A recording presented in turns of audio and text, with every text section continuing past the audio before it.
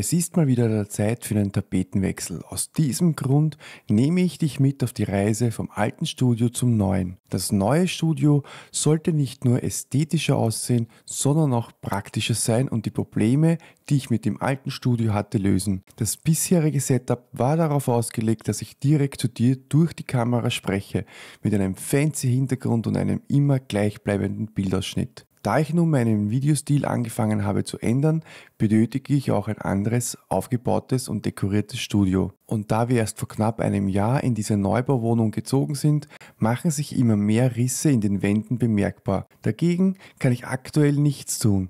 Ich habe daher versucht, die Risse im neuen Studio so gut es geht zu verdecken. Das nächste Problem waren die vielen Kabeln und Utensilien bzw. Equipment, die überall herumlagen. Daher sollte das neue Studio genug geschlossenen Stauraum in Reichweite bieten. Und dann möchte ich auch weg von dem super fancy Hintergrund zu einem ästhetisch ansprechenden Hintergrund. Das bedeutet, ich musste die vielen Schallabsorber bzw. Schaumstoffplatten runternehmen, die Klebereste entfernen und die entsprechenden Stellen neu ausmalen. Vom technischen Equipment her wird es bei einem großen Hauptlicht mit 120 cm Durchmesser Softbox auf einem Lichtstativ mit Rollen bleiben. Den großen weißen höhenverstellbaren Tisch behalte ich und werde ihn vorrangig für Overhead-Shots und Unboxing benutzen. Dann habe ich mich entschieden, ein Desk-Setup von Ikea zu kaufen bestehend aus einer Tischplatte und zwei Schubladenkästchen mit dem Namen Alex. Ist bestimmt nur ein Zufall, dass die genauso heißen wie ich. Auch ein neuer Stuhl musste her,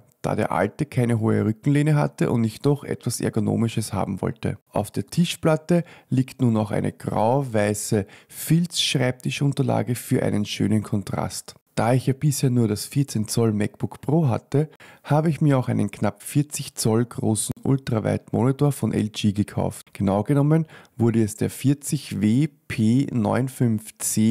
P95C-W von LG. Und um auf diesen riesen Monitor ein besseres Fenstermanagement zu haben, habe ich mir auch die Mac App Magnet aus dem App Store geladen. Verbunden mit dem neuen Monitor habe ich das MacBook in einen vertikalen Notebook-Ständer in das Regal nebenan gestellt. Und mit dem Magic Keyboard und einer farblich passenden schwarzen Magic Maus ist das Setup nun nicht nur funktionell, sondern sieht auch noch gut aus. Um meinen neuen Arbeitsplatz etwas aufzuhellen, habe ich mir noch die Monitorlampe von Benku mit dem Namen Screenbar Hello auf Amazon gekauft. Mit dem kabellosen Touch-Regler lässt sich die Helligkeit stufenlos regeln. Auch die Farbtemperatur und ein Rücklicht, also auf der Rückseite des Monitors, lassen sich einstellen. Kommen wir nun noch zum Regal. Zuvor hatte ich im selben Stil eine kleinere Version von IKEA. Und da ich die größere Variante bereits zu Hause hatte und sowieso mehr Platz für mein Equipment und Deko benötige, habe ich mir das größere Regal in die Wand gestellt. Dort sind jetzt ein paar Originalverpackungen, die ich noch nicht wegschmeißen möchte,